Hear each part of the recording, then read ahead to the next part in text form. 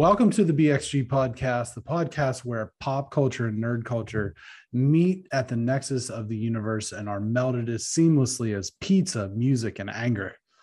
I am one of your hosts, Brenton Bestwick, alongside my co-host, the Pizza Bandito himself, Fessy. Oh, Greg, Greg Filson. oh, damn it! Wow. Um, you know, I've never, I've never got that upset about pizza that we'll get to that. But uh, I can understand how people in a house that big with an oven that small would get upset uh, over that kind of thing. Uh, you know, but other than that, other than thinking about getting upset about pizza, I'm fine. You know, we got a we got a show with a lot of good stuff coming, so I'm I'm excited. Indeed, I have a feeling that there's like outlandish things will be said, probably later down the line but we'll see. Yeah, I think I think one of us will probably get upset about a topic way more than the other person thought they would. That's fair. So I'm excited. Uh, BXG podcast publishes every Friday at 9 a.m. on Podbean, Apple Podcast, Spotify, Amazon Music, Google Podcasts, and other podcast services around the globe. Official BXG social media accounts: Facebook.com slash BXG Podcast, Instagram at BXG Podcast, at Twitter at BXG Podcasts, uh, at Instagram at GT Phils at Y2B, Twitter at GT Filson at Y2B, uh, the YouTube channel where you can see the review of Shang-Chi, Shang-Chi and the Legend of the Ten Rings. Um, over there, we did we had a long discussion on it. I think we we were around 35 minutes or so. How's um I I, I this is the 52nd episode mainline. It is episode, which is a year worth of content. Amazing. And I we never mention I always when I put the episodes on podcast services, you know, it's always like episode, you know, what 51, 52, whatever. But we never mentioned it on here. Maybe that's something that we should start doing. But I mean, we've been at it now for for a full year. Maybe that's, that's crazy. I mean, how many podcasts last, you know, a month, let alone a year? So, um, I, I saw many. a statistic somewhere that said it was like, like only a third of podcasts make it past like the tenth episode. Wow! So, kudos to us. Kudos to us, and anybody yeah. wants to give us money to, you know, pump out products, do ads. Let us know. Right. We're willing to do it. Anything. Yeah, like like ambassador sunglasses. Like ambassador sunglasses. Ambassadorsun.com for nice glasses like Brenton is wearing right now. Use promo code GT Phils at checkout for 50% off plus free shipping. There you go. Plug. but we're going to do our extra episode this month is going to be kind of devoted to the celebration or the anniversary or whatever. And we are going to try to get some listener inquiries as far as just some feedback things you like, things yeah. you don't like, things you'd like to see more of, things that you'd like to see less of. I'm sorry the challenge isn't going anywhere, so don't bother writing in about it unless you're writing in because you somehow want more of it. Yes. Um, sorry but, that I'm on the show and I like pop music. I just want to point that out too. yeah. There's a lot of heat in the street about that. I respect it. I respect yeah. the hate. Right. Yeah. you know, it is what it is, right? You don't know I'm, that you're hated unless you're loved, Brenton. Hey,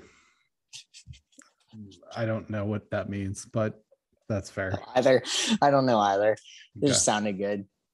So we got that coming up. We've got uh we tonight we have the challenge. We have what if. We have a retro review of Venom, uh, Venom Two here in theaters in about two weeks. We have the Rolling Stone top 500 songs of all time, allegedly. We have uh, some VMA discussion. We have some. We have the Hawkeye Hawkeye trailer, live reacts. Yeah. Some other stuff, you know, pop culture potpourri. We've kind of. That's the thing that over the year, you know, we've adopted like certain things. Like we had like the movie news wrap up, and then that kind of went away, and then it kind of. I should, should say it kind of evolved into yeah, the pop culture potpourri. We had the quick hitters. I would say like the movie news wrap up, the, the games wrap up, and the quick hitters kind of all evolved into the pop culture potpourri. Yeah. Which I they think, found a good host. They're yeah. Like symbiotes that found a right. good host. Right. Yeah, something like that. Um, but we'll go ahead and get started with number one, which this week is the challenge Spies, Lies, and Allies episode five, six, six. Yes. Uh, another old school episode filled with hookups, surprises, fights, and, and much, much more. The episode begins with Josh and Esther having a good time. Maybe Fester will turn into Jester. Jester.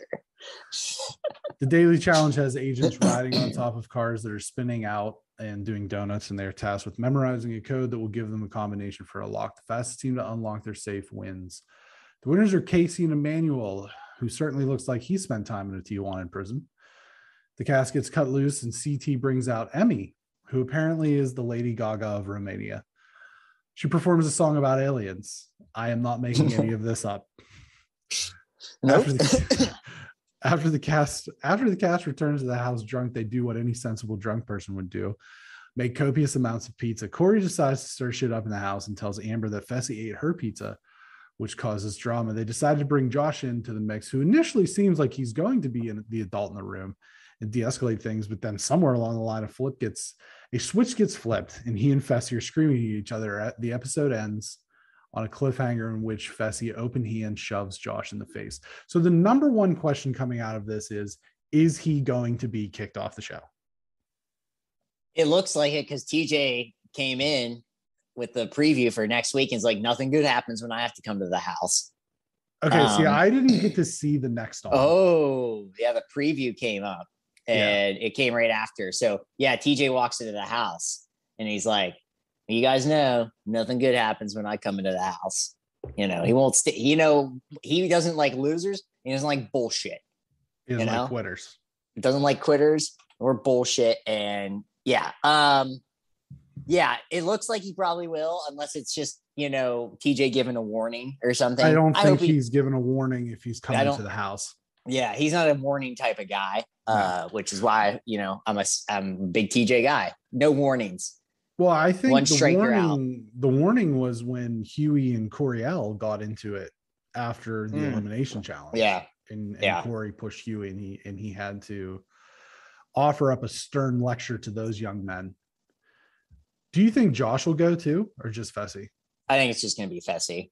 Yeah, there were rumors like circulating from the from the get go that Fessy made an early exit this this season.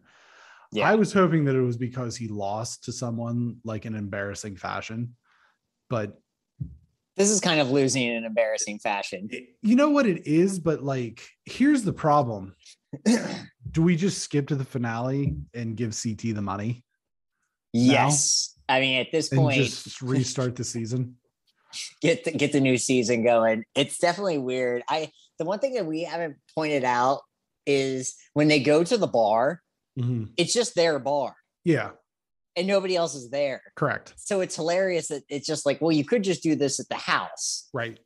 but let's go to this bar, Yeah, they have the challenge the challenge bar. And it's just like it like up on cracks the me up. lights.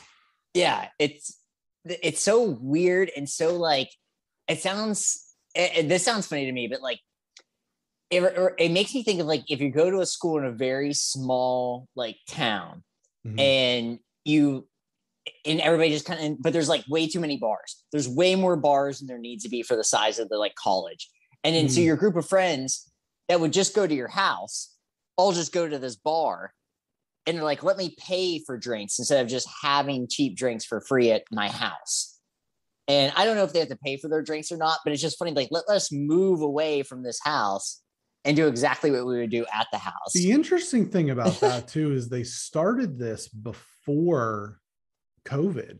The last Right. season that that took place before the pandemic hit had this weird like they just rented it out wherever Yeah. they were. You know what I mean? And this isn't like last season where it was on the site like on the Right. campus, quote unquote, the campus of of the challenge house where they had like that igloo situation but this is i think this is off grounds but it is the same thing where it's clearly they're just like renting out this whatever it is for them to come and cause problems basically it's and I hope it doesn't last at will you know when we're you know hopefully past COVID sooner rather than later.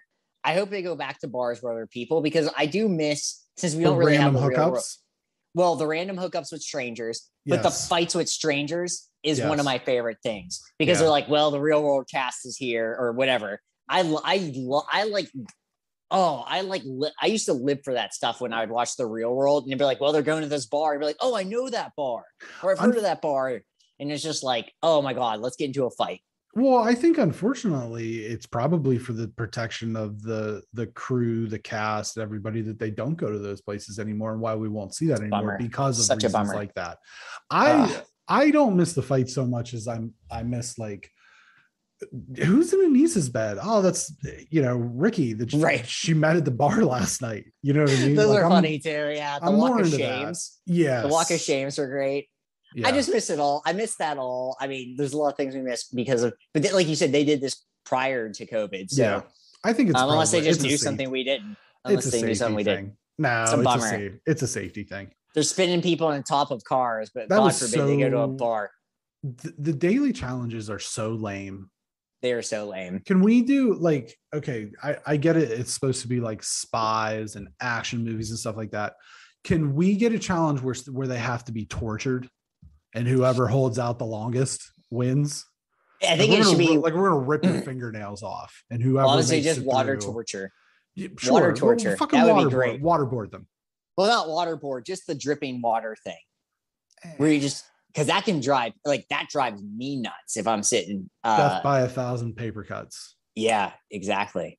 Like get real Sounds- gnarly with it. Let's like get like Let's see what um, happens. Let's get like Amanda and like saw her head off or something. Too much? I supposed to mean, be I'm not against that. let's, Let's Yeah, that is true. No. They should make it more like James Bond. exactly. Strip them, strip Here's what- down hit them with a whip. Here's what I See what don't happens. understand about. Let's talk about Amanda. Let's talk about Amanda for a second. Let's talk about Amanda. Not Ashley. Amanda. No. I believe they're often confused.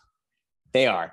I like Amanda. Let me tell you why. She's a terrible competitor. She's got no place No. in this from a competition standpoint. I think that she's like, I think that she's attractive, but I think that it's because she has this persona of like, I'm an evil bitch, is what Right, kind right. of makes her. Do you know what's really a bummer though? Well, man, it's not a bummer, I guess, but like, she's like in a fully fledged relationship now with Fessy. That's just weird. They vacationed really- in Mexico together. I just don't like that for either of those parties. Because I don't know. She's growing on me. Like oh, a- I, you know what? I maybe like a he- fungus. well, I was gonna say like mold. Yeah. you well, that's a um, fungus. Yeah, exactly. I'm just Yeah. yeah. So is she just there's this thing where I always you know we talk about like Kardashian fa- famous people and people say this about the Kardashians, but where there's like nothing behind the eyes. and Well, that was Amanda that is- other girl. well, this Amanda, the, they've shown her way more recently too. Yeah. So I wasn't paying attention to her that much before, but now there is. She's also giving me the persona of like nothing back there, and- hmm. which is fine. No, it's fine. I almost I feel would like it's rather an have illusion that. her. I'd rather have her on a season than Ashley. Oh, I certainly would. She's not annoying like Ashley. Yeah. I just don't think she really knows what to really do. Ashley kind of knows what to do. That's why she's won, and you know, she knows how to stick around. That's there you go. which is annoying. That's, yeah, that's what I mean. She knows how to She's a stick around. Right. She I'm ain't a gonna give up. survivor. Oh, I hate that we both did that. That really upset me. Well, it's a popular song. I mean, that means nothing. I just so yeah. Mm. I I would take Amanda over Ashley any day of the week. If you're confusing the two, What I'm do you think sure is a more popular song, that or Gasolina? Foreshadowing. Uh, I would think that I'm a survivor is Well, you'd think. considering the Gasolina had just a very small run, but who knows? Maybe I'm wrong. Maybe. Maybe I'm wrong. Maybe Gasolina is a very popular song and considered one of the best songs ever. Maybe. We'll see. We will- Uh, we'll see. I guess I So would, yeah. we had to talk about her just singing. And yeah. Oh yeah. We have to talk yeah, about that's I think the key of this episode. To me, that was the highlight. Uh, right. they they put her in like a nice little little red dress. Very weird. Didn't like it. Very weird. It was very weird. It made me feel uncomfortable. Yeah. and I'm sitting by myself watching this in the morning, having my coffee, and I'm like, ooh, this is a weird. Why do I feel weird? Why do I feel weird? I'm not. I'm not in this house. She felt a little uncomfortable with it. That's not her vibe. Um, it's not, apparently it is. but apparently it is. You wouldn't know. And then No, because like, like oh, she like she presents, she acts like a teenager. She's got like funny socks and mhm. Easter TJ and the way she uh, she's very emotional. And Yeah. but then like I you know, like I had in the write-up, she's apparently the Romanian Lady Gaga. yeah, it's crazy. That Um, might not be the case. I just put that in there to upset you. it didn't actually upset me because you know maybe she is. I don't know i don't know what's popular in romania. I don't know Survival. what's going on there. Yeah i mean like we joked around survivor romania it's just day to day living. That's that's the show. They just randomly record people there. Uh so everyone that lives there is a contestant on survivor romania. But uh yeah if that you was make it to the birthday, your next birthday, you're a winner. Yeah, exactly. you get to live another year. That's the prize. Um, there's no money. uh, shout out to our Romanian listeners. Yeah. Um, the song was weird, and and then everyone's like, "Yeah, I kind of have it stuck in my head." It's like, yeah, because it's literally the only thing you get to listen to. So it's of course you're going to get the only thing you get to listen to. Do you know what my head. favorite part about that was? Uh, yes, what is? You know how when they play because it's MTV and they have to pretend that they like that they care about oh, music. Oh yeah, that they care. So That's right. whenever in, in one of their shows they play music, they show at the bottom of the screen like now playing artist. Oh yeah, I lost my and it was her. It was Emy, Yep. whatever her last name is, Alien. I was like, she made Yeah, it. She's made it. she made it. Yep. She should She's- just quit this business and head for pop stardom. Certainly quit the challenge business. Well, although I, I don't know. I'm not gonna. I don't want to judge her too early. I think that No. she's, you know, she's certainly, she I certainly think earned with her a, keep. with a good partner, she could do well. yes, yeah. She has just unfortunately had to have bad partners. Yeah. and that's not good. No. She's trying. Her partners seem to not care. Well, her partners have been, at least for the last two weeks, were Gabo, whose head is uh, filled with mostly song lyrics, according to him, and then Huey, who possibly fell asleep on top of the car. I, 'Cause yeah, I she do kept think saying, happened. Huey, what's the number? And he's just like not saying anything. Huey's so weird. He had to think I- about it. I had to think about it. Think. you know, I w- I've been back and forth with Huey, and I'm, I'm I'm going to say. I'm out. Yeah, I'm Uh, fourth. I'm not I'm- back. I'm, I'm- fourth. I'm. I said it last I week. out I've had my fill. Yeah, you've had your fill, and I was just late to the party. I was late to the party, not fashionably late. I was just late. It was embarrassing for me to show up that late. I'm sorry. Well, Um, it's- I do. it's like I I, said- brought wine. I'm sorry, but Did you yeah. bring babka? Uh, I brought cinnamon babka. Oh, yeah, it's the lesser Yeah. babka. There is no lesser babka, There is, as I said but last he week, sucks. I actually don't like him, and I don't want him to be back on the show. He's too much for me. as I said last week, we already have a George. Yeah. I only have enough room in my heart for one person who has emotional meltdowns on the challenge, and it's filled by Josh Martinez. which is what we got. It was the co- He did, Tori but that's the setting thing is, it doesn't. This is the thing that pisses me off about this situation, right? Was they got Josh. He comes in. He's trying to calm everything down. he is, yeah, and then obviously these things are edited for entertainment value right but then like him and Fester are in each other's faces he's trying to calm everything down and He then literally within a blink of the eye it didn't make any sense to me because you need that spark because it's not like we get it josh is an emotional guy but also like you said last week he oftentimes the things that he's overreacting to are legitimate things.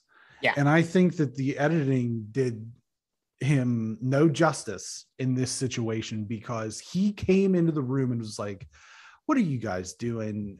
Amber, you need to calm down. And then Right. seconds, like seemingly seconds later, him and Fessy are at each other's throats.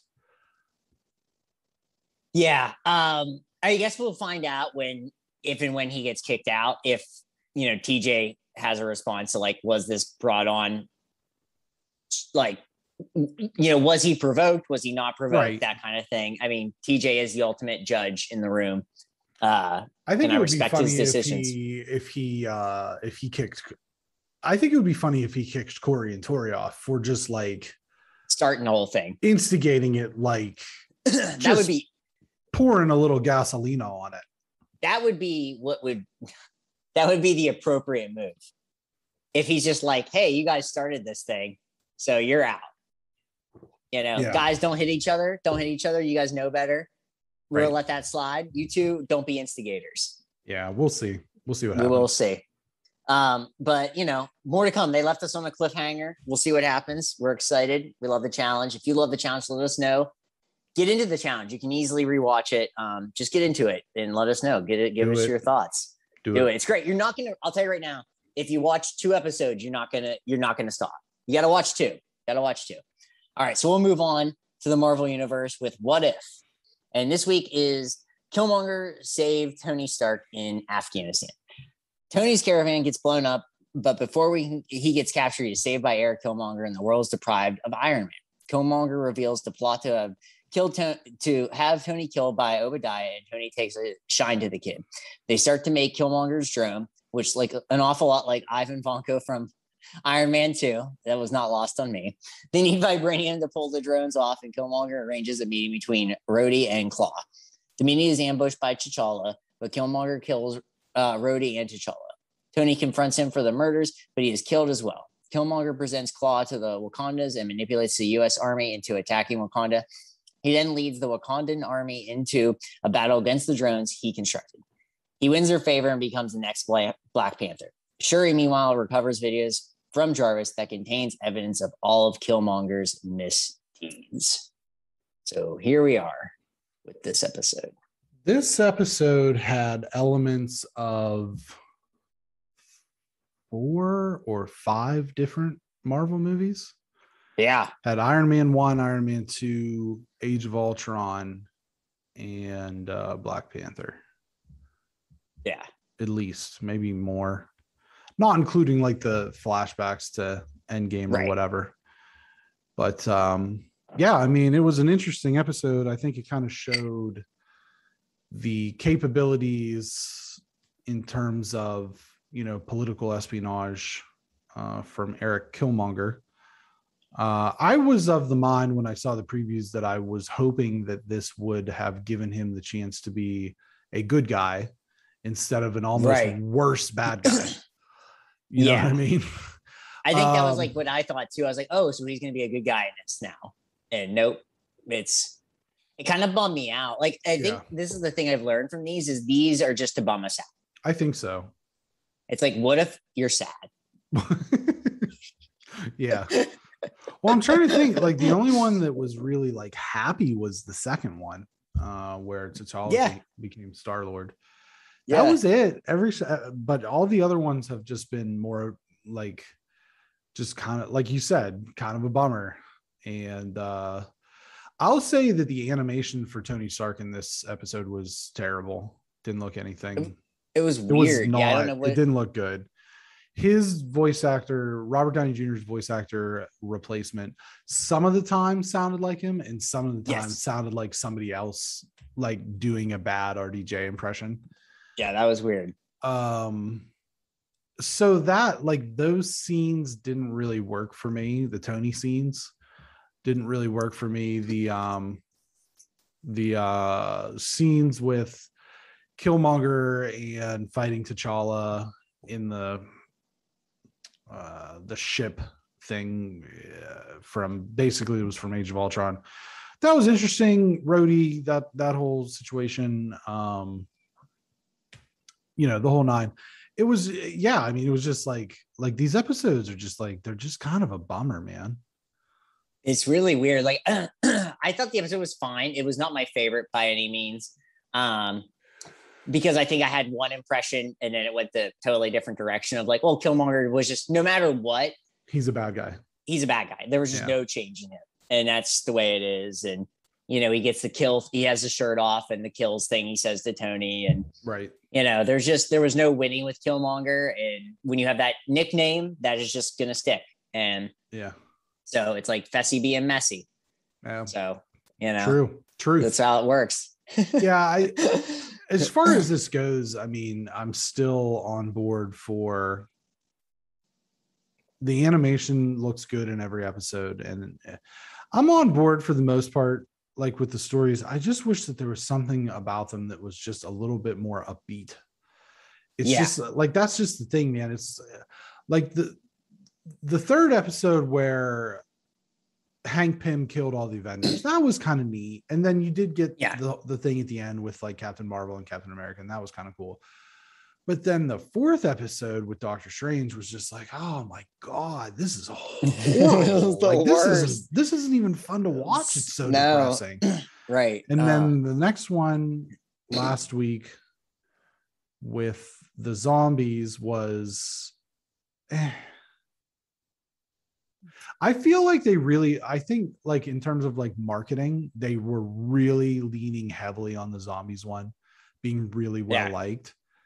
And I didn't think it was it was so horror tropey yeah. and it didn't really do it for me and then this one was i think this one was a little like a little bit at least more interesting as far as like an actual complex storyline Well, I think the thing is with this one too is you know we we say this all the time how much we like the ground, and this was Mhm. purely the ground. There was nothing yeah more than that existing in this, right and you know it, it's just like oh so we don't have Iron Man, and this is what happens if we don't have Iron Man, you know, and you know, yeah and there was nothing more beyond that. Like we don't get any you know look aheads of you know Thanos. We get none of that. We have the Yeah. look back of Tony, you know, snapping his fingers, but we don't get Right. the we don't get to look ahead of this what if. And so we don't know, we don't presumably know, but we kind of have an idea. Well, if there's no Tony, then we're probably screwed.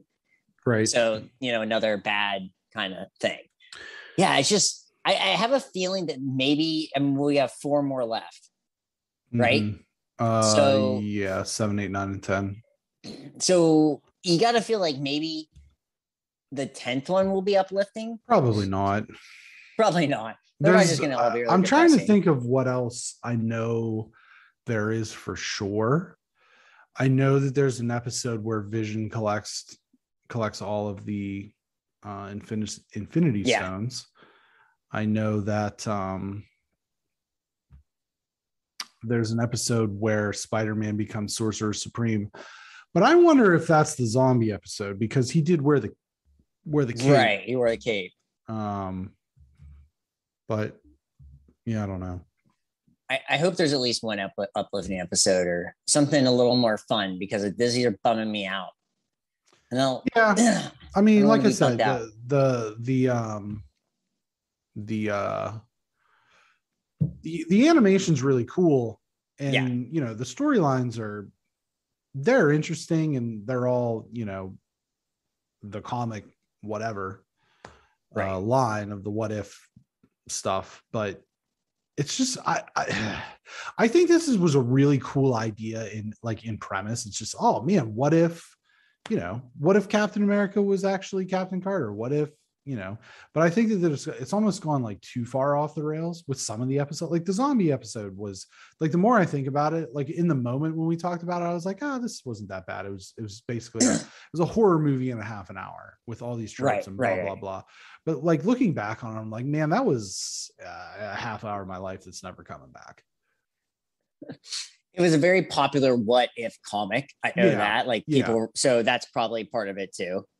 right Yeah. So, yeah, no, no, I, you know, I'm still, you know, I'm still watching them. Um, Mhm. like I, you know, I'm not, not just because of this, I would watch these no matter what. yeah but sure they haven't, Right. I will say they have not lived up to my expectations. 100% say that. yeah i think that Yeah. that's a fair statement I think also, and this ain't just, I think having seen the Hawkeye trailer, and when I saw that Mm. after watching it, but still, it's like the Hawkeye trailer looks so good and so much fun. we haven't seen the hawkeye trailer yet greg Oh, I'm sorry. Time travel When we do time time travel. travel Uh, sorry. uh, so when I see the Hawkeye trailer, no, Uh, yeah, but I just it's it's not as good as I thought it was going to be. There's still four episodes left, uh, and a lot Yeah. can happen. So, Right. uh, and maybe I had too high of expectations. That is definitely possible Yeah, too. Could be on me. Yeah. But you know, I, we'll see what happens. So peeling back the curtain a little bit, Mhm. listeners, sometimes we record the episode out of order.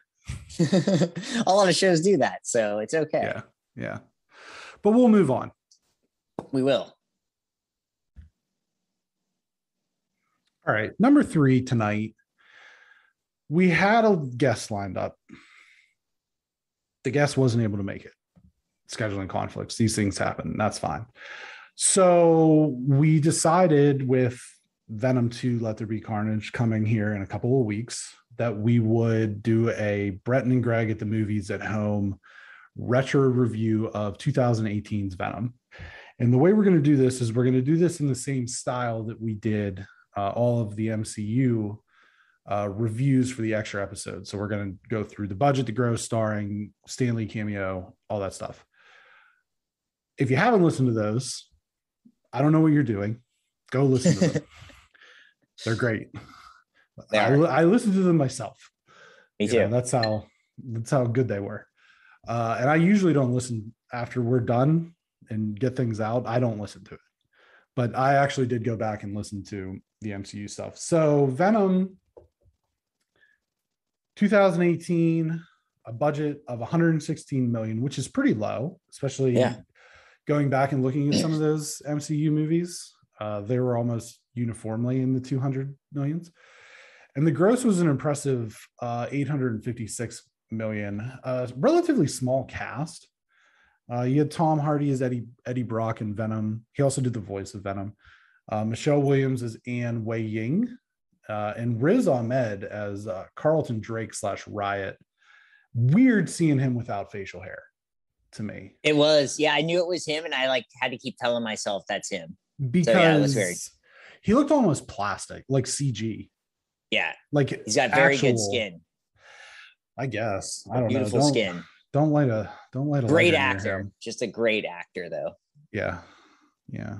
He looked manufactured. The villain was Carlton Drake slash Riot, another symbiote. The Stan Lee cameo was at the end. He tells Eddie not to give up on Ian. Either one of them, either one of you guys, implying that he is aware of Venom's presence, which is kind of funny.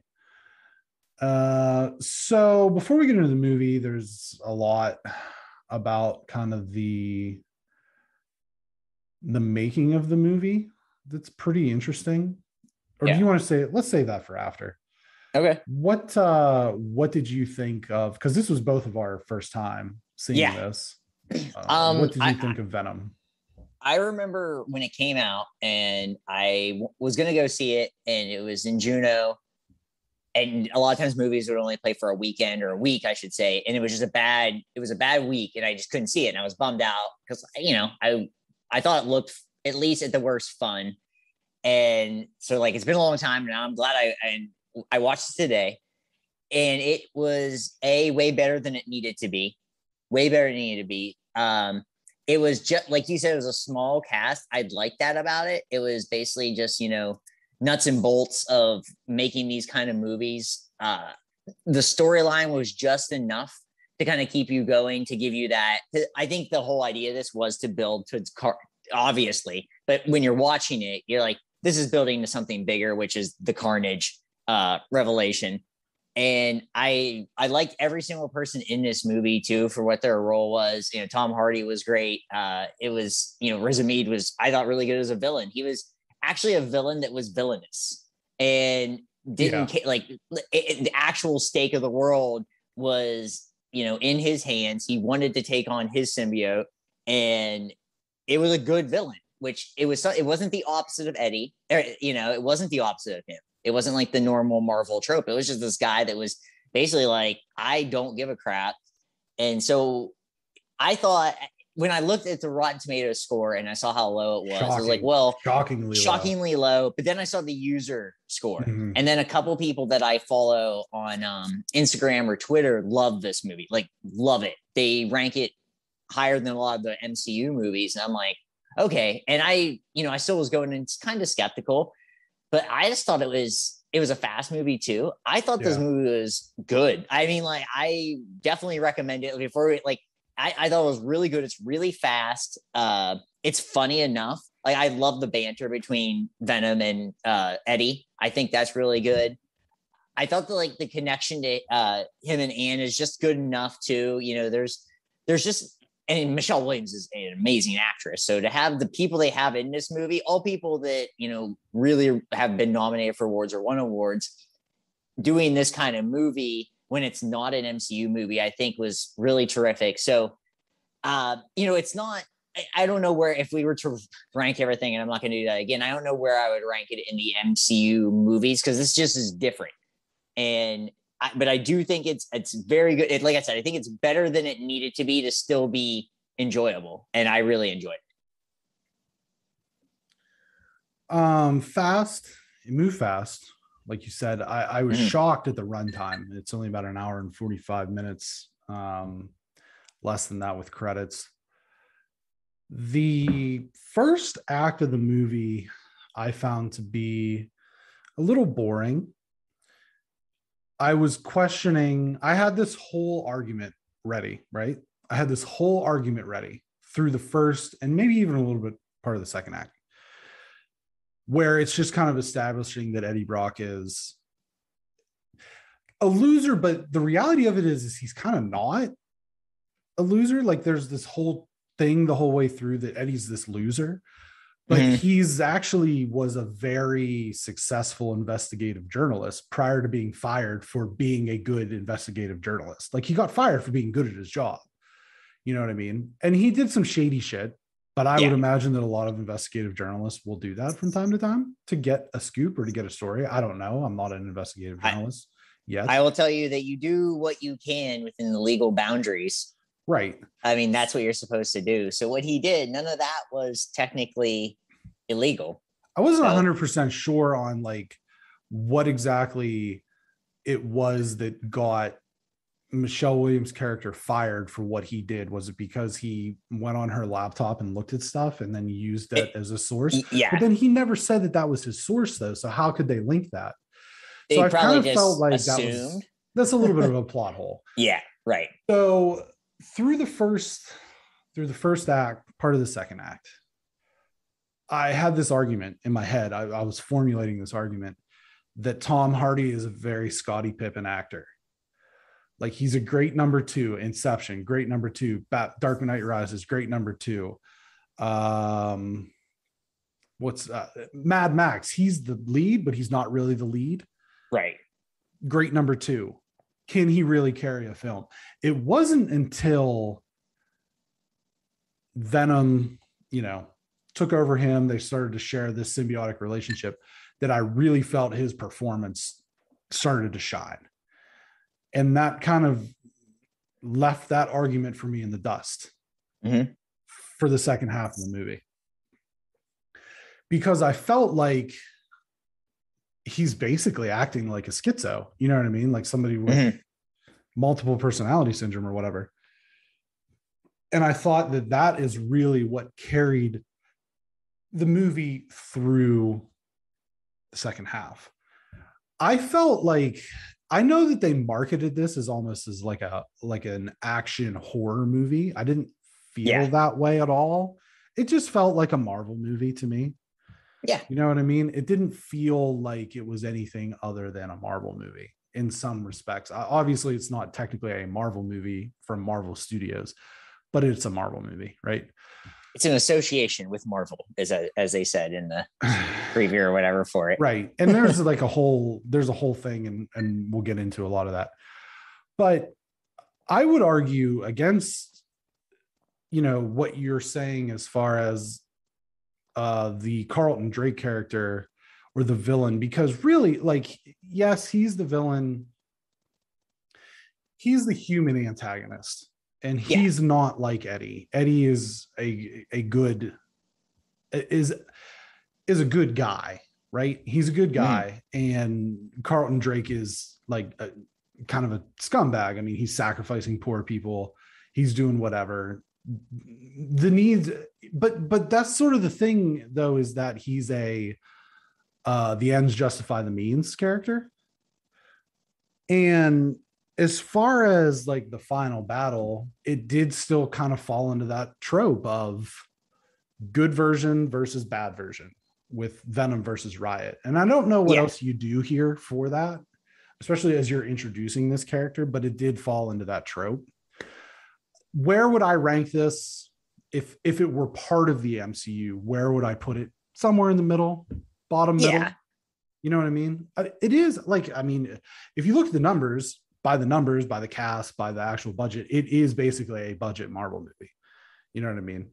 So, but at the same time, when you look at that, I, I don't, I, I find it fascinating when you look on Rotten Tomatoes or you look on Metacritic, and there's such a gap between critical and user scores. Right. And oh, yeah. you see this with Venom and the other two things that are like so readily weird to me that the gap is so large is the last jedi and the rise of skywalker the last jedi is like a 90 on metacritic critical or like a high 80 and it's like a somewhere in the 50s wow. score. And it's just weird to me that that the you know the the critics get it so one so skewed one way and the fans get it so skewed the other. I think that this i think that what really carries this is it's just such a popular character you know and it's never really gotten its due. It was like the character was not great in spider-man 3 no. And there was also some hype around this that this was maybe going to connect to the mcu which is another thing we'll talk about in a second. And i think that the the character being immensely popular is really what carried this fan almost made a billion dollars. You know what i mean? The the fans really for the longest time have wanted venom to be a big character because he's one of the few villains and he's not really a villain he's more he develops more into an anti-hero he is initially spider-man's you know and you know antagonist but he does become more of an anti-hero in the comic books he has his own comic and he's right. you know this character that looks the way he does which is you know, very rare for Marvel or DC. Yeah, there we go. Exactly. Nice. That's pretty sweet. Uh, I didn't uh, even plan that actually. This that's awesome. Up I grabbed. Uh, so you know, and I get it. Like after seeing it, and then I understand why it has become. I, I hate to say it's a cult classic because it made eight hundred million dollars, but yeah. it does feel like that, even though it made bit. so much money. Yeah. Because there is just this thing about people that like this movie are like in love with it. I, yeah. It's just really, really funny to me. And I, I wouldn't put myself there, but I do no. enjoy it. I don't feel bad that I, you know, rented it today. I don't, there's nothing about what I did, you know, watching it. There's nothing, I didn't feel like A, I wasted time. B, I spent a little bit of money to watch it. And, you know, see, we're talking about it. Like I, I have no regrets on any of that. It's, way better than like you said the it's in the middle bottom middle of the MCU movies yeah. and that seems fair and I think no matter who did it, a Venom movie would always kind of be like that because it's a weird character. As popular as he is, it's still a weird character. So let's get into that a little bit. Uh, I think that's a good Greg way. Uh, Venom, Venom as a lead character has had a somewhat tortured development. New Line Cinema, New Line originally had the rights and was developing a film that would have seen Dolph Lundgren. Holy crap! the titular character in 1997. That would have been a disaster. The rights would eventually move to, to, Sony, and Venom would appear in the third film of the Sam Raimi Spider Man trilogy. Originally, Topher Grace as Eddie Brock was a small cameo, but Sony production wanted to see him evolve into a main character that would help the franchise uh, have legs in the same way the solo Wolverine's outings did for the X Men franchise. Venom was being developed alongside Spider Man 4 However, Tobey Maguire, Topher Grace, and Sam Raimi all opted out, and Venom would be reimagined from the ground up in the same way the Andrew Garfield led Amazing Spider Man movies would be. Eventually, Venom would be set to add on to the Amazing franchise. But as we covered in our MCU in review phase three, part one, see issue three, The amazing franchise was scrapped in favor in favor of an MCU crossover in which Tom Holland became Spider-Man. In 2016, the film would see a revival with Deadwood, Deadpool, Deadwood, Deadwood. Deadpool, Deadpool and Logan uh, succeeding in the R-rated mm, superhero space. The idea was to launch a shared universe of Sony-owned Spider-Man Marvel properties. The film does not connect to the MCU version of Spider-Man, according to Marvel boss Kevin Feige. But producers at Sony have said the film is adjunct to Tom, Tom Holland's Spider Man, and he could pop up at some point in future Sony MU projects. The film was panned critically with a 38% on Rotten Tomatoes, as we said, but fans of the anti hero came out in droves as the film scored $836 million at the box office and sits at an 80% fan rating on Rotten Tomatoes. The film is based heavily on two comic arcs 1993's Venom Lethal Protector and 1995's Planet of the Symbiotes. Venom's first comic appearance was in the Amazing Spider Man issue number 252, May 1984, which predates both of us, by the way. Yeah. As the symbiote, when his first host, Peter Parker, uh, was Peter Parker, the Black Spider Man suit, obviously. And his first full appearance as Venom was Amazing Spider Man 300 in 1988, which shows how long these things get planned out. You know what I mean? It's crazy. Right. Uh, he was introduced as one of Spider Man's primary arch enemies, a dark reflection of Peter Parker, and would evolve into an anti hero over time. He was ranked number 22 on IGN's list of best comic book villains. So I think one of the questions that really needs asked here is there's been talk back and forth about the possibility of this Venom or this iteration of Venom eventually crossing over into the MCU. Do you think that that is possible? Yes, because of money. Uh, and, you know, I just think, I think at this point, you know, the fact that they were able to get Spider-Man into the MCU, and then you take the most popular character in the Spider-Man comic books, other than Spider-Man, uh, I feel like it. I, you know, whether it does happen, I would say, I would say the odds are like 55, 45. It happens. It's not a lot, but I think if people, if people go after it enough, they're gonna try to do something to get this character in the MCU. Um, I don't necessarily think it's needed because we've always said that Spider-Man has the best villains, and we can live without a Venom character in those movies. It, you know, would it be cool? Sure, it'd be cool. It's not needed. Spider-Man has so many, so many villains that these movies can go on and on, and we haven't, you know, we haven't needed it yet, and we know going forward, obviously not going to be in the next one. So, I don't. Wouldn't that be a trip? That would be incredible. Wouldn't that if be? happens, wouldn't that be if it- insane? if it happens, it'll be the loudest reaction in the theater that isn't uh Infinity War Endgame. I, I don't guarantee- know. I think it might beat that. You, uh, I mean, the loudest reaction I've had at a theater was when um, Captain America got the hammer. That's the loudest I've ever been in a theater. That was insane. Uh, I, I don't know if it I don't know if Venom shows up, but man, you're right. I don't know, especially since people are what like it's been so long to be in that big time Marvel It's- movie. Maybe people would just be so coiled up, ready to attack, ready to just go Well, nuts. and the other thing is that that would be it'd be sick. I honestly it would be I would lose my mind if it happened. so the two the two loudest uh cap picking up the hammer and thor showing up in wakanda are the two loudest pops we borrow a wrestling Yeah. term uh pops that have, have ever happened in a theater outside of samuel l jackson delivering that iconic line in snakes on a plane i think that this would beat that and the reason why thor is awesome we know this right? Yes. Especially that version of Thor. Yeah. That scene in that scene with Captain America, we've been building to that for you know 12 movies or whatever, right? Right. This is Spider-Man. The most popular Marvel character mm-hmm. by a country mile. Yeah. Probably the most popular comic book character not named Batman. Yeah. Maybe even more so than Batman I mean, I would argue that, but I, I, I would argue Batman's more popular, but some may say Spider-Man.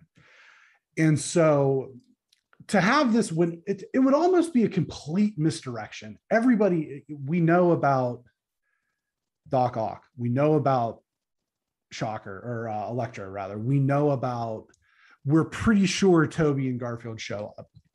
Right. Tom Hardy showed up as Venom, it would bring the house down. It would I'm rooting be, for it it because would be be insane. it would be Hulk Hogan showing up as the 30th guy in the Royal Rumble. You know what I mean? It would just Yeah. completely bring the house down. But it's not going to happen. So right. I mean, we could talk about it. It would be amazing.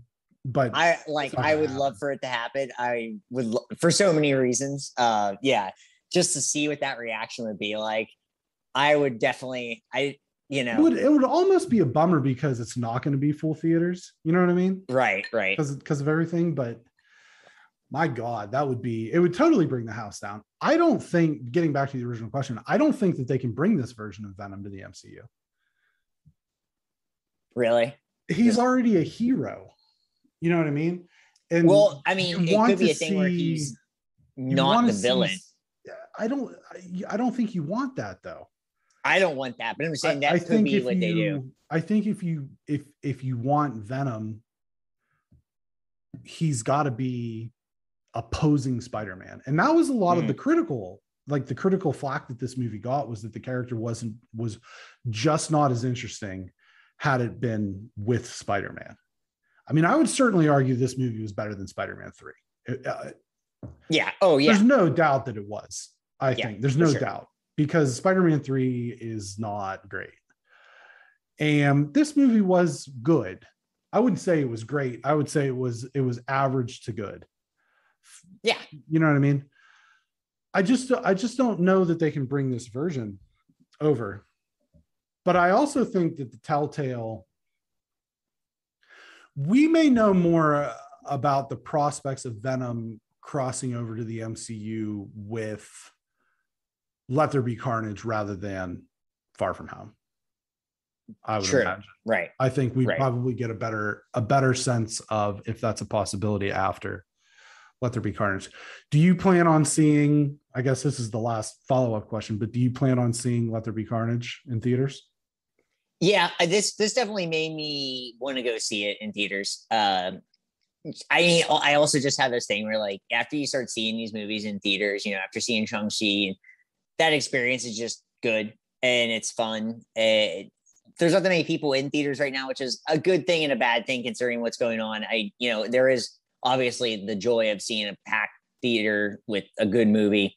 Uh, but I, you know, I'm not gonna see it opening night. I just don't Right. think I'll do that. It's not in that realm of things, but I'll definitely see it. Probably like a Tuesday matinee, catch it, and uh, you know, I. What do you or you think you'll see it in I theaters? don't. Uh, I doubt it. If I can sneak off on like a Monday or a Friday afternoon when Yeah, you know people are in school and stuff like that, then I might. But it's not because it's not an MCU or a Star Wars movie. It's not a priority for me and this podcast. You know what I mean? Like if it Right. were if it came straight to on demand, it'd be a it'd be a lock. Like even if it were just like, hey, it's on demand, but you got to pay 20 bucks. I'd pay 20 bucks to see it on demand. Mhm. I just don't want to like it's not priority for me to get to the theater, basically. okay. I So understand that. we'll see. I mean, if if we're both able to, we'll review it, and if not, then we'll just wait and review it when it's streaming. Because a Yeah. lot of people, that's the choice that they're going to make to see it anyway. So, Right. Yeah. But uh, we'll move on from uh, Marvel uh, into, uh, and this just came out, uh, you know, at, right before we recorded today. Rolling Stone released its later latest iteration of the 500 greatest songs. Their 500 greatest songs. For the first time in 17 years, Rolling Stone magazine released an updated version of its 500 greatest songs of all time, uh, which is crazy. It went this long, considering you know how many new people are around. But uh, this list now includes Adele, Amy Winehouse, Kanye West, Beyonce, Kendrick Lamar, Taylor Swift, among other contemporary artists. Uh, I'm not going to obviously go through too many of these. I narrowed it down. Obviously, just the top 10 I thought was the best because it still kind of was able to get a lot of contemporary artists in there. Uh, so 10 was Outkast, Hey Ya. Uh, nine, Fleetwood Mac, Dreams. This Eight, is Missy the Elliott. top ten this is the or top the, 10. your top ten. Their top 10. Okay. Their top 10. Um, eight, Missy Elliott, Get Your Freak On. Uh, seven, The Beatles, Strawberry Fields Forever. Six, Marvin Gaye, What's Going On. Five, Nirvana, Smells Like Teen Spirit. Uh, four, Bob Dylan, Like a Rolling Stone. Three, Sam Cooke, A Change is Gonna Come. Two, Public Enemy, Fight the Power. And one was Aretha Franklin, Respect. So I don't know if you looked through the list. I looked I'm kind of looking at it right now. I- I looked through mostly just like the top 100 because Yeah, that's what I'm going beyond that is uh Yeah.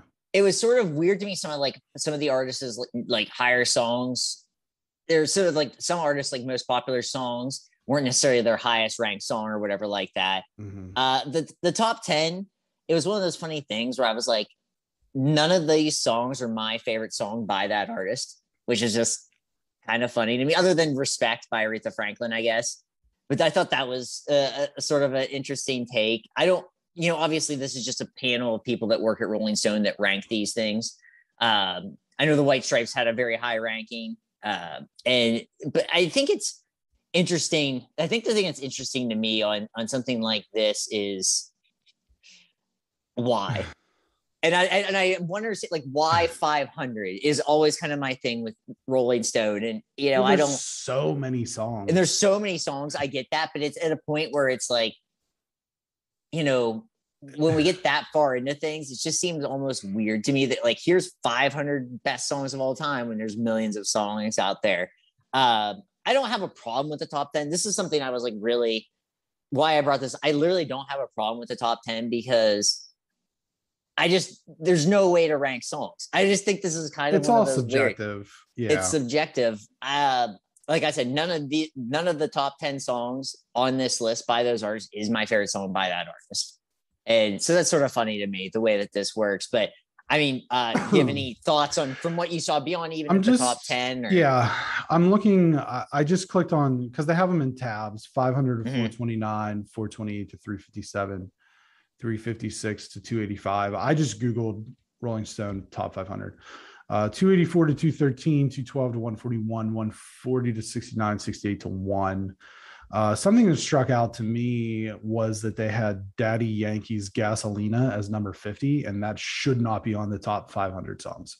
that like, was. Oh, I'm glad you brought that up. I actually got like super angry when I Robyn read that. dancing on my own, number 20.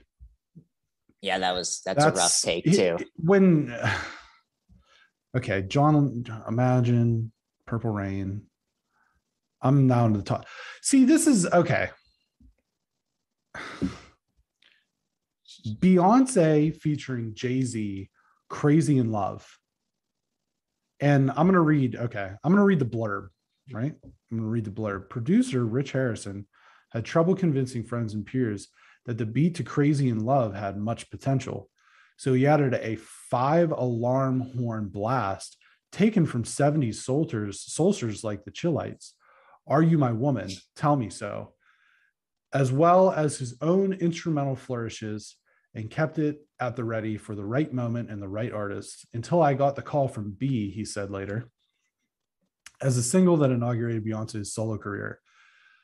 The song emphatically announced her arrival as the era's dominant pop power. Jay Z's killer verse was added at the last minute. Bey and Jay had just started dating at the time, and the song's lyrics and head over heels delivery reflected what she described as the first step of a relationship right before you let go.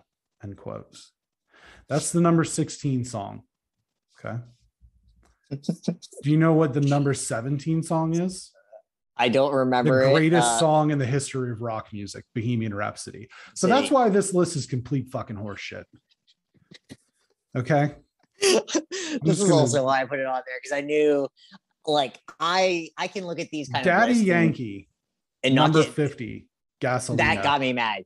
I Leg- hated that song so legendary, legendary rock song, Stairway to Heaven.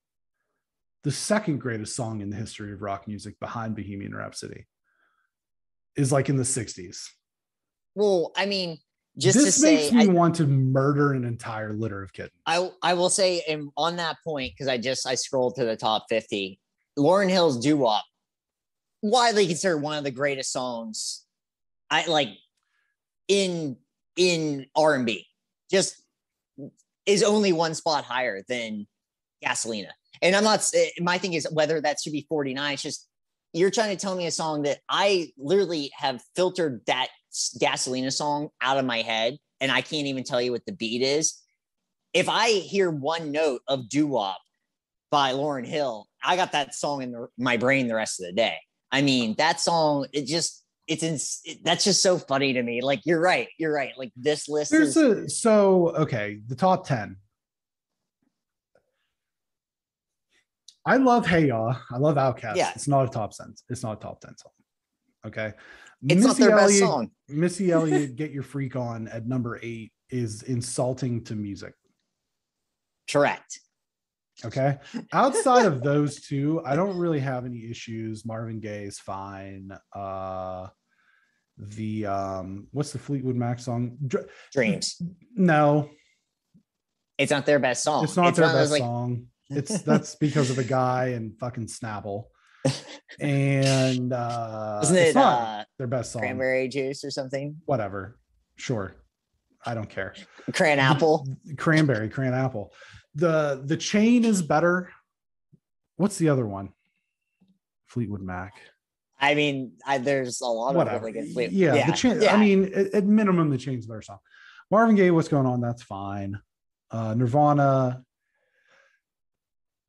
We've had this conversation about Nirvana. Like, smells like Teen Spirit is probably not a top 10 or a top five song in terms of quality. It is probably a top five song in terms of importance. right. So I will say I'll give that, you know, that's fine. Bob Dylan like a Rolling Stone, that's fine. Uh Sam Cooke, that's fine. Public Enemy Fight the Power, that's probably another one of those important like based on importance type Important. songs. Yeah. Uh Aretha Franklin. uh, that's fine. I don't know about number 1, but I'm also biased towards rock music. Bohemian Rhapsody at number 17 is an absolute travesty. Yeah. and should- I would say that Stairway in the 60s is a travesty. Those are both top 10 songs. Period. Like there's nothing. I- and the fact that there was no what what were Strawberry Fields? six. Was it in the top 10? Yeah. Okay. It's in the Yeah. top 10. Beach Boys, that doesn't need to be 11 either. I mean, I could I could pick this apart. I'm not going to. Um I'm glad I brought it up though, because I Strawberry knew Fields that- is my favorite Beatles song, so I like that. Uh, Strawberry Fields Forever. That's good. so it is uh, outside of those two and like i said i really like OutKast i don't know that hey ya is a top 10 That, song to me, that is just a song because it was just so friggin' popular. yeah sure Like, you Sure. know, more than the actual quality of the song and, you know, whatever it is. it just i'll tell you what man fucking daddy yankee at number 50 ahead of stairway to heaven i want to cry whoever that is deserves to be karate chopped in the throat I just, whoever made that is- call I'm just going to go The pure problem is other people signed off on it too. Like, oh Right. yeah, that And- sounds like a great idea. What? and this is I'm going to go pure bias. The fact that you're going to tell me that the greatest songwriter right now, contemporary songwriter right now, does not have a higher ranking than that song. Taylor Swift does not have a high is absolute just garbage. She is widely considered the best songwriter of her like generation in that music, and you're saying Gasolina is a better song is I'm, I'm glad we did this because that just we have our fodder. It's that song sucks. It's not a top 500 song. It's not a top 1000 song.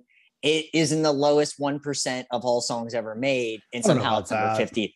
It's not good. I was so when that song was popular, I remember because I like this was my newspaper days where I only really listened to Taylor Swift and Miley Cyrus when I got when I was driving on the way home because I was always tired and I needed music to pump me up.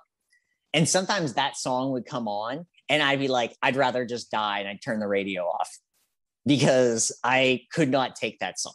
So, I think that that statement raised more questions than it answered. well, I mean, you know, you you've been with me. Miley Cyrus kept us alive, Brenton. That's fair. Number five. Number five, the VMA wrap up. Colin McGregor. Colin McGregor? Conor McGregor. Conor McGregor. Oops, it spell checked me. Sorry. I like Colin. You should change this. Colin. I, yeah. Conor McGregor threw a beverage at Machine Gun Kelly, and that was really the most exciting part of this year's VMAs. Nearly everyone performed, but Ozuna's La Funka stood out as the weirdest with Dancing Bears. Highlights of the awards included Justin Bieber being named Artist of the Year. Olivia Rodrigo won Best New Artist and Song of the Year for Driver's License. And most importantly, I don't know about that. to me. I don't know about I don't know about that. Most importantly, John Mayer won Best Rock Video for Last Train Home. Foo Fighters received the Icon Award. So I only watched performances like I couldn't watch this live. Um, yeah, you know, it was this show has gotten so weird and pink. And I don't mean the artist. right. I just felt like every time I watched anything on this, it was weird to my brain. It was literally just had this pinkish filter over every performance. And I don't know if I if I'm wrong, uh, but I watched like six or seven of these performances, and every one of them had this going on. So I don't know if there's something mind control with the pink colorways. Hmm. I don't know. I don't know if this was just the um, theme. It was weird though. And that La Funka, that just made me feel uncomfortable. So Yeah, I I, a of people had it um, ranked number one as best performance. I was like, it freaked me out. So number one in some aspects. I didn't see that. I was alerted to the fact that Lil Nas X like pretended to be pregnant or something. That's his that's been his shtick for his new album. He's Oh, just been pregnant with his Montero album. Yeah, okay. that's his thing. Uh I saw the I saw the second half of the Foo Fighters. Um, They're the Foo- good. Of the They're still Fighters, rocking out. uh, that was fun. performance and when i came down they were doing a song i, I wasn't familiar with but then they ended with everlong as they should always Yeah. and that was awesome but they cut they would like cut to people in the audience and you could tell they're like i don't know who this is Who is this? It was like the lead people- singer. it was like other people who were there for awards you know It's the like, lead singer's uh, like the lead singer has uh, long hair, but he's old. Is he cool? Yeah. He seems like he'd be cool. Yeah. it, it was It was- very it was very like who who is this who are these guys i mean they're only in the rock and roll hall of fame you know Yeah. They're only one of the greatest bands ever. I mean, they really are.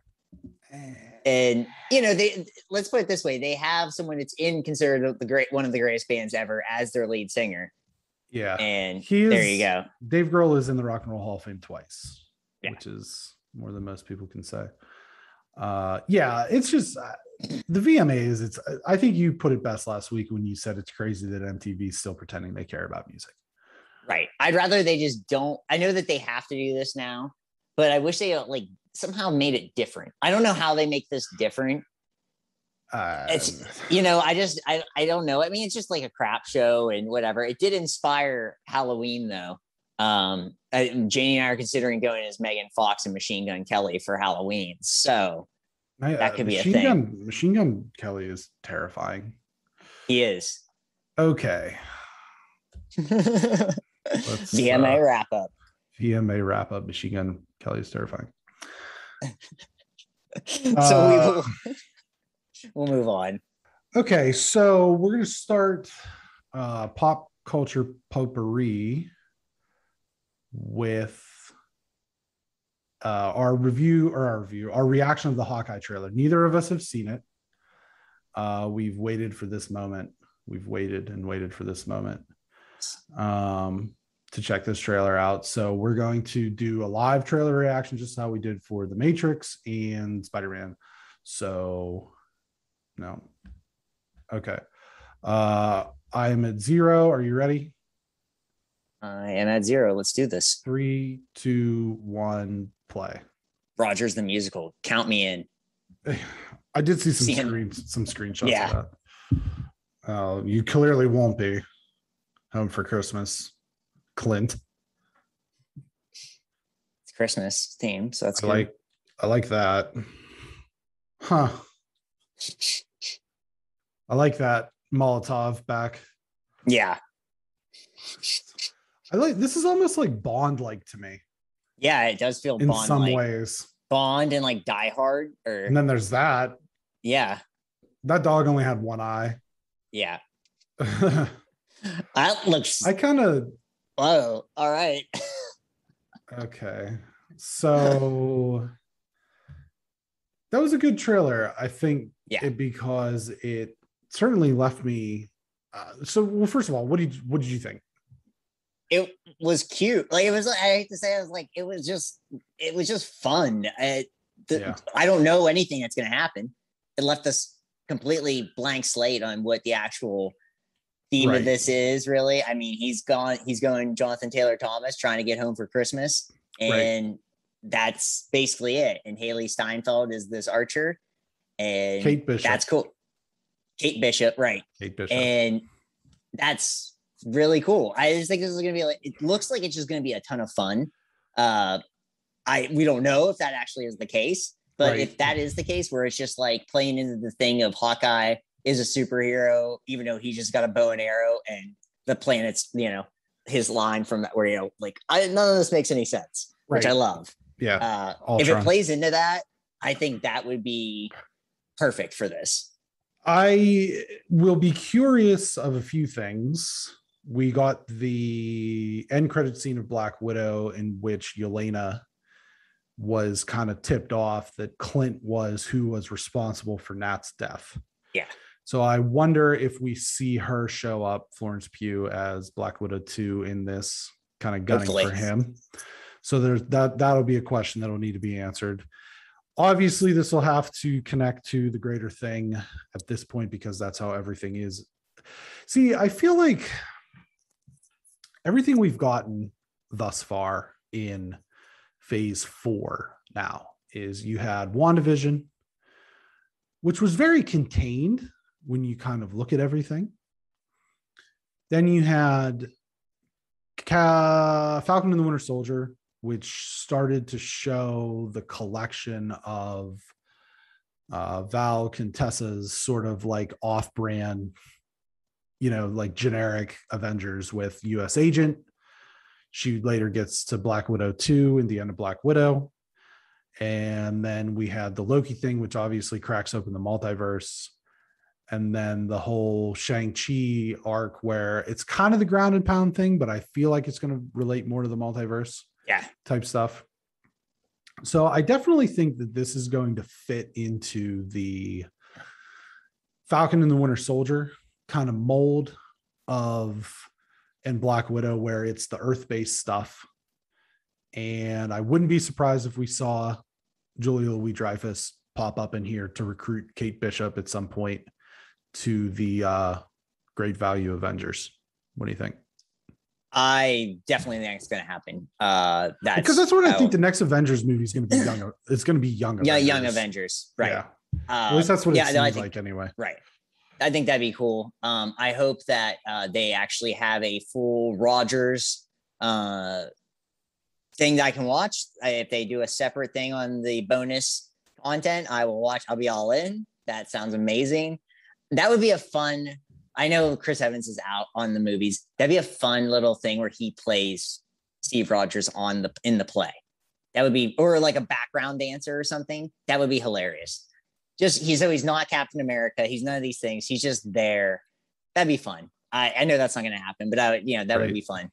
And I think this show is kind of what they, the direction they need to go right now. We talked about with, you know, Loki going to all this stuff. This is to me not going to be anything. There won't be any multiverse stuff. This is Uh, You can't imagine this is going to be right around how the they same do it. time as as Eternals. right.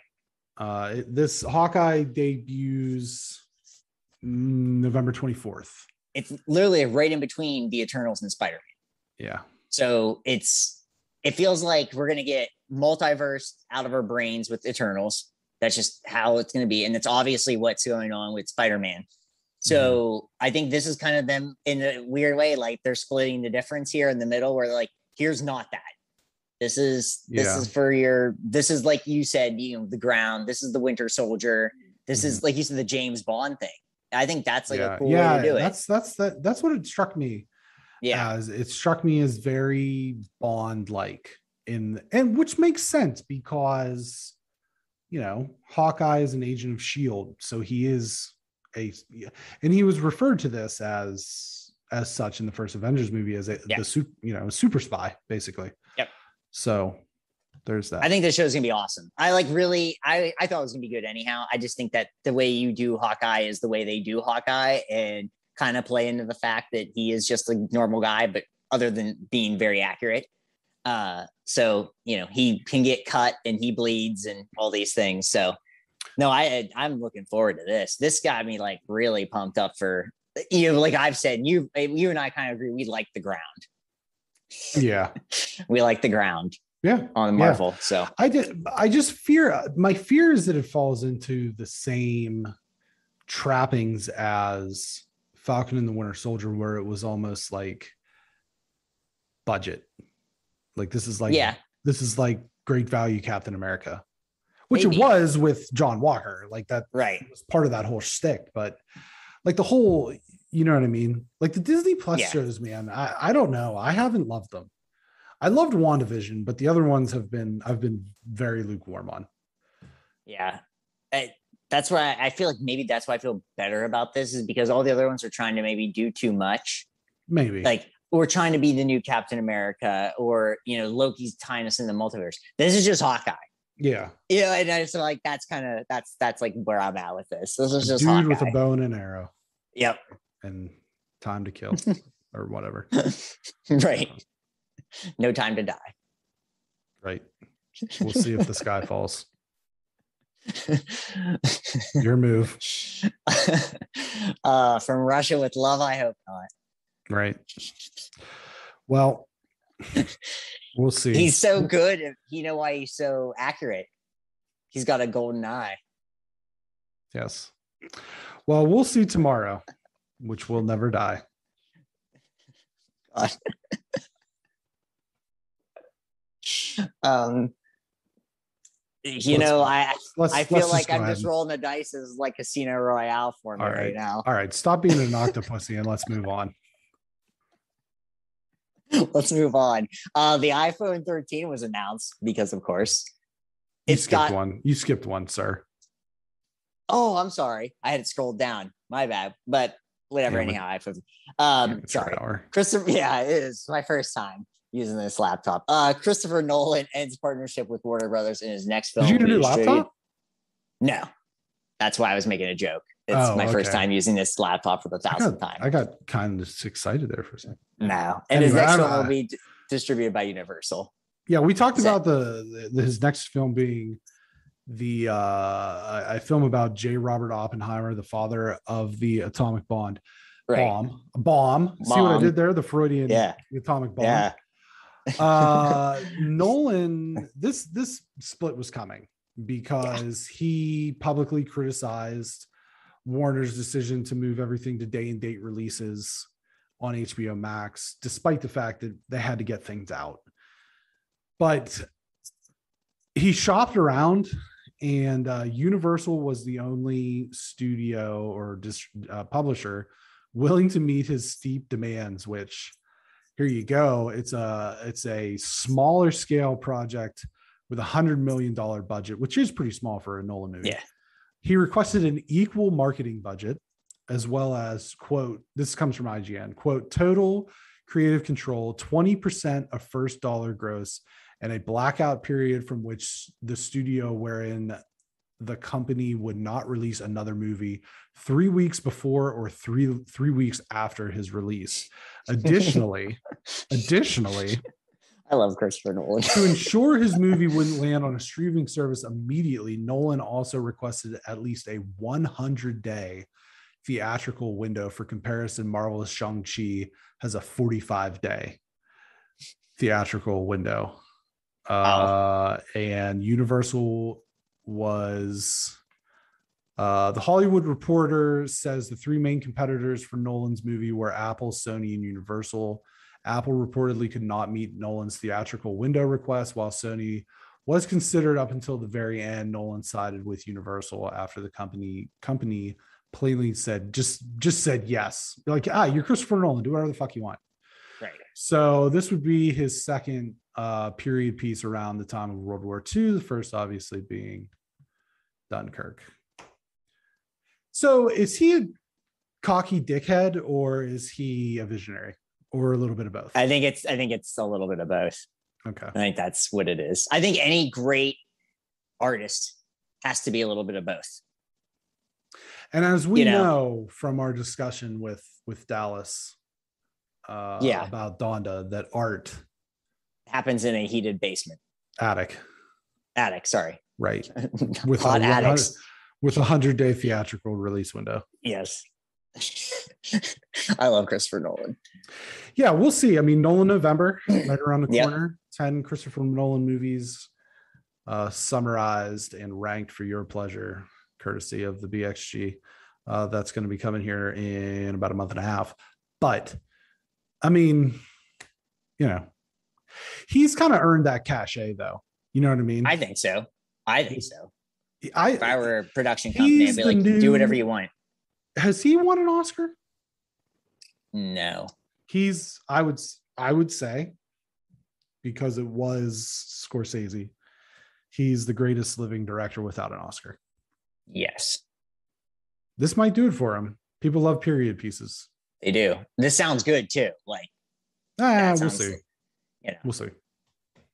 I don't want to say anything yet. Okay. Cool. Well, I already said it, but I'll say it again. The iPhone 13 was announced because, of course, it has better camera. Who cares? Yeah. This I is- mean, I, I'm an iPhone person, but whatever. I'm not. I'm whatever. I don't understand the people who are like, I'm going to buy the iPhone 13 the same as I bought an iPhone 12. I'm going to spend $1,300 on a phone every year. By the way, that PlayStation 5 that costs $500 is a terrible investment. Go fuck yourself. I get a new phone when my phone feels like it's going to crap. That's when I get a new one. I have nothing else to say Um, on the matter. it's fine. Uh, longtime comedian, former SNL Weekend Update anchor Norm Macdonald passed away after a long battle with cancer. Uh, we wish the family of Turd Ferguson the very best. Um, I love Norm Macdonald, and that was totally on me when I was ranking comedians that I forgot about him. Um, one of the most influential comedians, one of the people I've mimicked for a good portion of my life, and just sitting back yesterday and one of those rare occurrences where you're like on Twitter or you're on, and everyone was just like, Norm's the best. Nobody talked bad about him. It was a great moment of like, oh, we can all agree Norm MacDonald was hilarious. He held it together. Just the way he was able to hold these four minute jokes together, incredible. Um, look up the moth joke if you've uh, if you're looking for a good Norm MacDonald. Look up his OJ stuff from his weekend update. Hilarious. The guy is it, a lot of people said like one of one. It truly, he's one of my all time, one of my all time favorite comedians. Yeah, I don't really have anything else to say. I think that he was at his best as a stand up, not necessarily as a movie actor uh, or, or as such, you know, an on screen actor. He was one of the better weekend update guys for sure. Uh, his delivery, his comedic timing was was excellent. I, I just, you know, that's he's my favorite things- weekend update person as an SNL person. I- he's my I favorite. I think that he's probably mine. I would have to go back and look at all of them collectively to see if there's maybe somebody else. Him in in the Celebrity Jeopardy, as great as the Connery thing was, and as great as Will Ferrell, obviously as as Alex Trebek, that was one of the more memorable ones because outside Yeah. of Connery and Trebek, you don't really remember any of the other people. But when he's Burt Reynolds and he's got a fucking cowboy hat on, he's like, "Nah, my name's Turd Ferguson now." Person. like that was you know one of the still still like very highly quoted like Oh, bits yeah. from that thing so you know it's a real bummer uh i guess he had he battled cancer for nine years so that's a really long time It's crazy. for that sort of thing i didn't see what uh the specific type was but it is a you know it is a shame for sure Um, Shang-Chi had another strong weekend at the box office, holding off Malignant to take the top spot. The first entry into Marvel's Kung Fu Hero story has earned more than $250 million globally, despite the Delta COVID variant continuing to spread. It is currently number two to Black Widow, and I believe that if the Delta thing were not a thing, that it would definitely be number. It would have passed it up. I think. I think you'd be looking at three, four, five hundred million at this point. Oh, sure.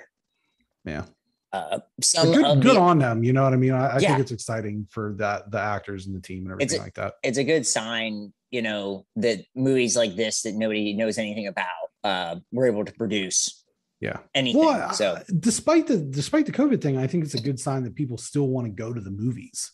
Right, You know what I mean? Because I think that a lot there was a lot of skepticism coming out of the pandemic where everybody was quarantined for you know months on end and we were getting all this stuff on demand and we're getting it all day and date on Disney Plus, HBO Max, whatever that people wouldn't want to go back to the theaters. Yeah. And I think that some of the strong performances, Shang-Chi, Black Widow, Fast Nine, uh, Jungle Cruise. I had to throw that one in there just for you. But those were Sure. movies that are have proven that people still want to go to the movies to see movies. Right. Yeah. I'm, you know, I love seeing movies and I love seeing them in the theater. So hopefully we can all continue to do that. Um, get double vax if you need to. Get your get your booster. Um, some of the art, music, and effects Emmys have been doled out, with WandaVision winning Marvel its first Emmy and The Mandalorian taking home seven Emmys. The primetime Emmys are set for this Sunday. Excellent. But we The want Queen. we want the big ones. The yeah, it's yeah. We you know Here's what I want. Mandalorian. I know you're I know you like the queen. And that's fine. But I'd or like the it's not the queen. Crown, The, I, the Crown. The crown. I always The call Crown. it the queen, but the crown. but. I'd yeah. like to, I'd like Princess Diana to take a blaster shot to the face from the from the blaster of the Mandalorian. I don't even think they're in the same category. I don't think so. I don't. I didn't I'm even not- look at the Emmys. I'm I like sure. the Emmys. Well, to we talked about 'em at so- one point. Yeah. A while ago. We did. I'm just. I'll. I'll watch afterwards because I won't be able to watch it live anyhow, and I'll still get Right. mad. Here's the thing. I'll say this right now, where I'm like, eh, I'm not really, you know. And then Sunday I'll come home and I'll rewatch it, or I- I'll catch up on everything, and I'll get mad because that's what I do. I get mad over things that literally don't matter. People So say like, "Oh, mainstream award movies suck." It's like, listen, the Emmys are a big deal. The people, okay, people say mainstream award movies suck because they like things that are niche, and those things don't get nominated for mainstream Yeah. awards. That's a big reason why people say that sort of thing. But okay, the outstanding drama series, The Boys, Bridgerton, The Crown, The Mandalorian, Lovecraft Country, Pose, The Handmaid's Tale, This Is Us. The Boys and The Mandalorian are not shows that would typically be nominated in this category. And as fans of those shows, I would be delighted if either of them win. They won't. They won't win. The Mandalorian will be nominated every year. It'll never win. You know what I mean? But it'd be great if it did. You know what I isn't mean? it I, I and i hate and i'm like the last person in the world that would ever say something like this because i am not a moral victory person but the fact that this show is nominated for an award with something that's called the crown based off of english patriarch you know that kudos to disney. I mean like honestly this is what i'm at like but- you were able to take a but here goes the thing right is is that i don't think that there's i'm looking i'm scrolling down through for the limited limited series uh Mare of Easttown, i may destroy you wandavision the queen's gambit the underground railroad i know that that you were a big fan of anya taylor joy and the queen's gambit Yeah. tell me tell me elizabeth olsen doesn't deserve to win well like I, already, I. I said that she should win but when we went back on the sh- show she did more than anyone's done in a tv show in quite some time I, I, I certainly, you know, Yeah. outstanding, outstanding supporting actress, uh, Kathryn Hahn. You know what I mean? Yeah. I, I just, I don't know, man. Uh, outstanding supporting actor in a limited, Don Cheadle for the 29 seconds he was on screen, and right that's So stupid. That's so ridiculous. They should have. I uh, legitimately, where's that one at? It's so strange to me. Outstanding host in a in a reality series, not TJ Lavin. That's bullshit. and I will maintain that. I just want to find. I like to think that maybe TJ Lavin was just like, I don't that you don't nominate me. I don't. That's he just yeah, I don't accept your your petty awards. outstanding guest actor. Here's my issue. Okay, first of all, outstanding guest actor in a drama series. Uh, Courtney B. Vance, Lovecraft Country, Charles Dance, The Crown. We do love Charles Dance. I bet you We didn't do. Have, he didn't have a turtleneck on though. Don Cheadle, Falcon and the Winter Soldier, Timothy Olyphant, The Mandalorian, Carl Weathers, Mandalorian. Timothy Olyphant should win. But do you Yeah, know who should. should really win that category? Because he's not actually nominated. Is Mark Hamill. Who? Well, yeah, Mark Yeah. Hamill should win. He Yeah. should win. Outstanding guest actor in a drama series. He just showed up, Yeah, kicked ass. Took names, Mm, Yep, exactly. gone. But it is what it is. You know what I mean? Like, yeah, I guess in a sense it is like a moral, a moral whatever. But I also, like you said, I don't really believe in that. I don't. uh, I don't think that any of those shows, like, they're better. At like, like, ooh, I'm an actor or whatever. But you know what? Who the fuck cares about that? I have like I, I, this is the thing. Most of the time, I'm like 100 percent on this. I I'm- not saying the Crown's better because it isn't. It, they're it's just I really like the Crown. I also really like the Mandalorian. I I'm think not, that you my know, aggr- I think my those things. aggression is talking you out of the crown. I think that's what it is. I think that No, I still really love the. Crown. I love the Crown. My thing is what that show was able to do is take a thing I normally don't care about at all and made me interested in it.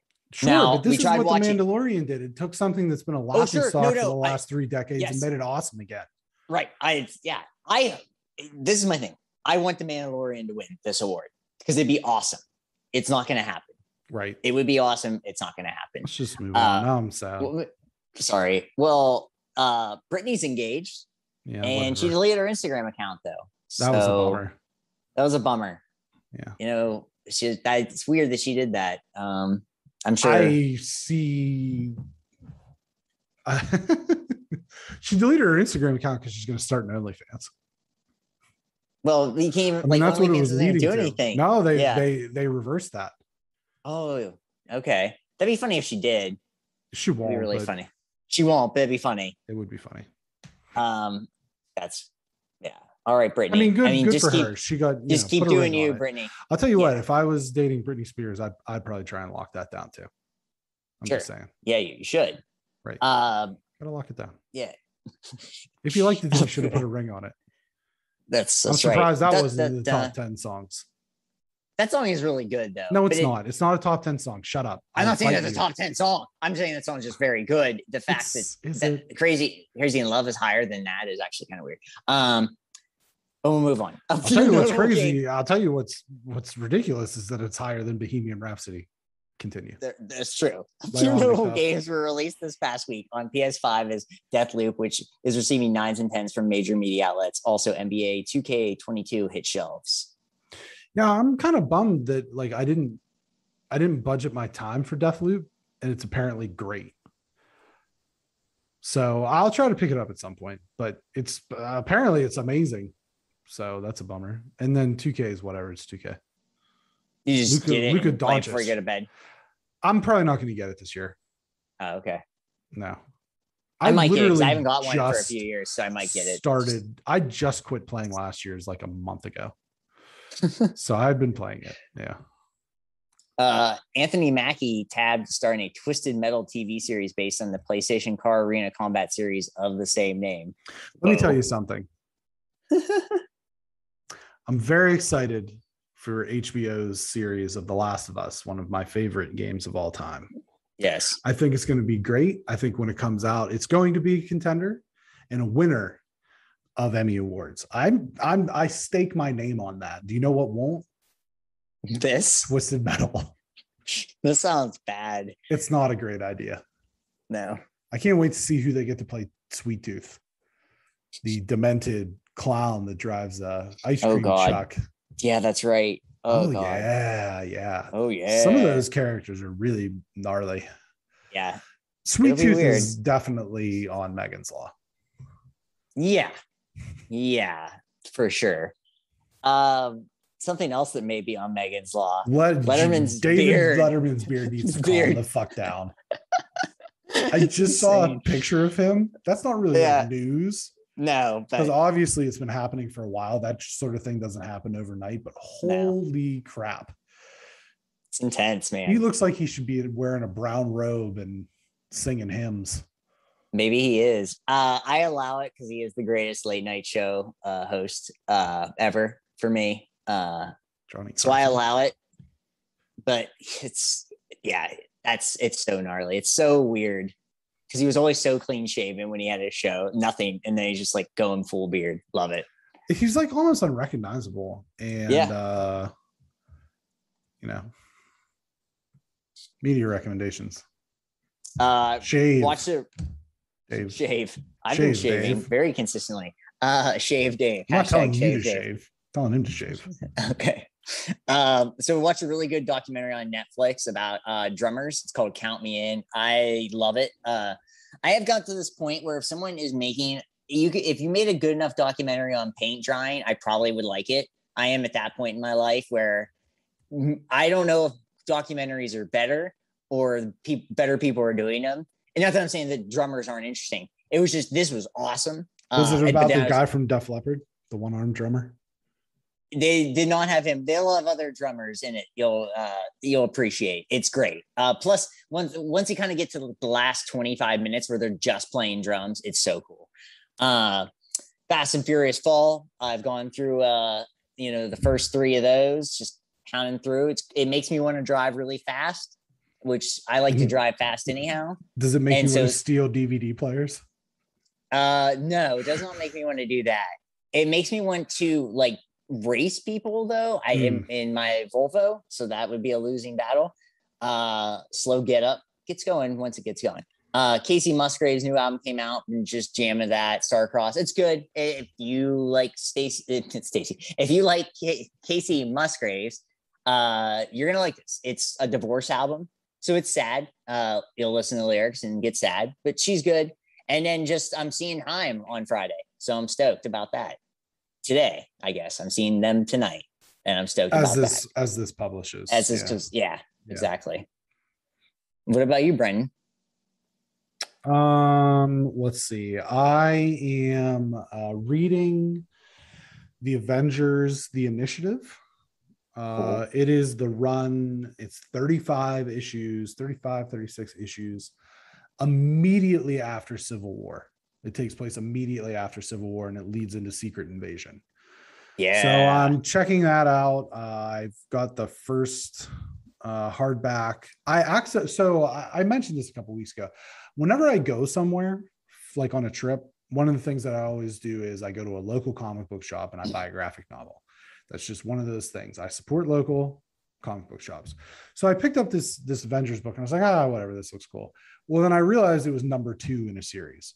So then I had to order number one off Amazon. yeah. So I ordered uh I ordered the first one. He came in, I started reading it. It also ties into World War Hulk. And so now I feel like, oh God, now I have to get World War Hulk. So I'm probably uh, my graphic novel collection is probably going to expand pretty rapidly over the course of the next couple months. Is just I try to accrue all the stuff that was like right around this uh run, just so that I have because I'm like that. You know what I mean? It's like I can't. I have to have all the shit that ties in. It's one of the annoying parts about being me. I beat Far Cry 5 and I beat Chasm. And so now I'm just doing trophy clean cleanup and I'm and I got uh Kena: Bridge of Spirits, but that doesn't uh come out until Tuesday as this publishes. So it's preloaded or will be preloaded on my PS5, but not available until Tuesday. Bum, bum. Are you gonna make a uh, claymation version of Secret Wars just to make it happen? That'd be cool. No, no, I'm not gonna Oh. do that. Bummer. Because that would be cool. It's Oh, like Secret Wars. What are you talking about? Claymation? I don't do No, just because we want to have that. We we want to have Secret I would Wars rather have mar- Secret Wars instead of multiverse, but Yeah. I'm So just maybe we man. just have to make it happen. I know There are dozens of us. there are. BXG podcast publishes every Friday on 9 a.m. Eastern Standard Time, 6 a.m. Pacific Time, 4 a.m. Hawaiian Aloha. on podcast services around the globe. Spotify, Amazon Music, Google Podcasts, Apple Podcasts, Good Pod app, Podbean, Stitcher, all that stuff. It's on We're there. everywhere. Facebook.com slash BXG podcast for the Facebook group, Instagram at BXG podcast, at GT Phils, at Y2B, Twitter at BXG podcast, at GT Filson, at Y2B. YouTube, where the videos go up of the reviews, the a la carte, it's a la carte, it's a la modi. So there's a little bit of there's stuff. It's not everything. It's a sample. It's a nice sample size for you. It's the challenge. It's what if. It's movie reviews. I'll probably put up us talking about the Rolling Stone thing because it was funny to me. How Yes. angry, how angry I got. angry I got so got. It was angry. I got angry. And so we'll do that and we'll, you know, pay attention to the Instagram because we solicit uh for responses to like, you know, what did you think of this movie or blah blah blah blah blah. You know, and we're trying to this is more than just this is more than just you and I getting together talking. We're trying to build a community of people who like the things that we talk about. You know, we want people to talk about Marvel. We want people to talk about Star Wars. We want people to talk about the challenge. We want to get people in on the challenge. We want to get people into comics. We want to get people into games. We want to get people into mus- music. We, we want to have this community to have these conversations. So please recommend, share, subscribe. We are giving, we we are so invested in building this community that we are literally giving things away for free. Yes. 100 subscribers on the YouTube channel, we will give away a 25. I'm just going to put it, uh, you know what? We're just going to do it like this. I'm going to say it right now. 100 subscribers, we're going to give a $25 gift card away. 250 subscribers, we're going to give another 200 or $25 gift card away. 500 subscribers, we're going to give away a $50 gift gift card. A thousand subscribers, we'll give a hundred dollar gift card away. And we get 50,000 subscribers, we will give away a PlayStation 5. There we go. Boom. I said it. it. He said it right there. Tell, Tell your, your friends, tell your friends, tell your families Tell your mothers. about the unmistakable essence of the BXG podcast. Take care. Thanks for listening. I love it.